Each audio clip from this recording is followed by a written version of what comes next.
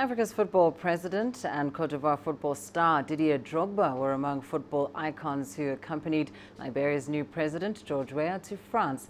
It was a meeting at the Elysee Palace on Wednesday with French President Emmanuel Macron and also brought the Liberian president together for a working lunch with FIFA President Gianni Infantino and French football player Kylian Mbappe.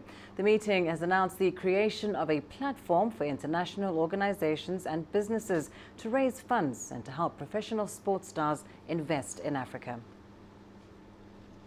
In our meeting, when the war came to Liberia, two sports were able to disarm the young child soldiers, and through sports, Liberia were able to go back on the table for the peace accord.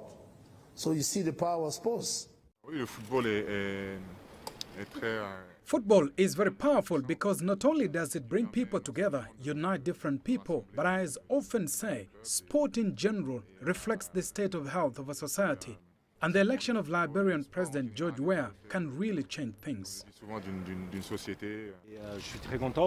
I'm very pleased because in Africa, as far as football is concerned, there's incredible talent, incredible passion, but what's missing are the structures, and we're going to invest to put that in place.